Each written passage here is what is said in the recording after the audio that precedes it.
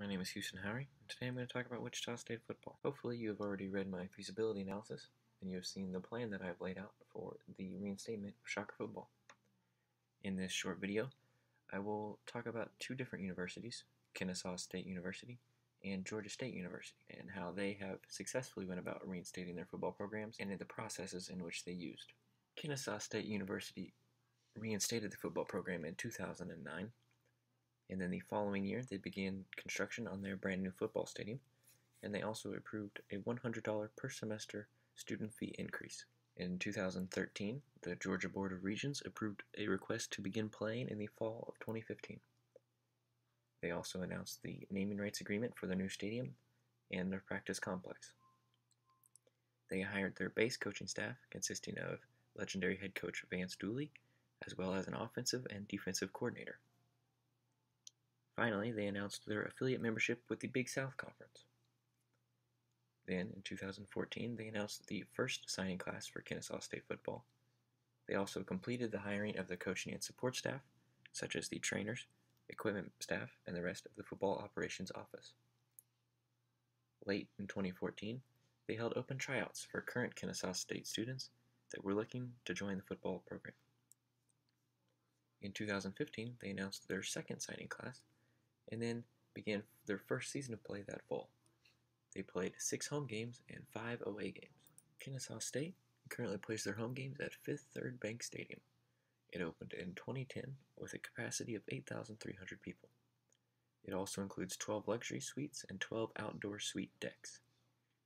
The average attendance for their home football games over the past five seasons has, has been 8,820. They also built brand new football offices and an indoor practice facility, which totals in 29,500 square feet and includes 16 offices for the coaching staff and football operations managers.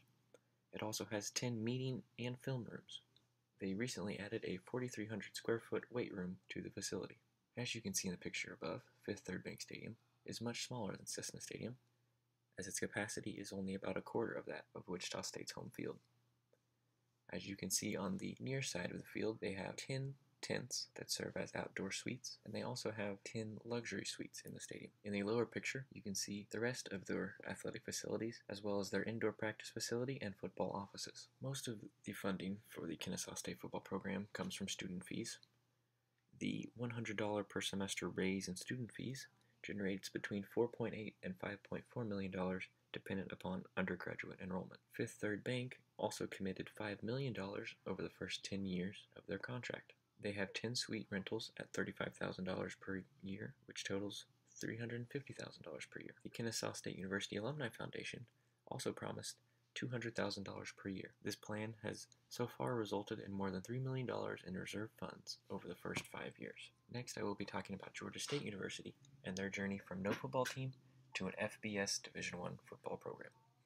In 2007, they began their feasibility analysis into beginning a football program. They secured over $1 million in pledges from alumni and other community members. They also approved an increase in student fees. In 2008, they announced the addition of football at the FCS level that would begin play in the fall of 2010. They also hired their base coaching staff as well as held open tryouts for current Georgia State students. They then began construction on their brand new practice facility. In 2009, they announced their first signing class and also began practice.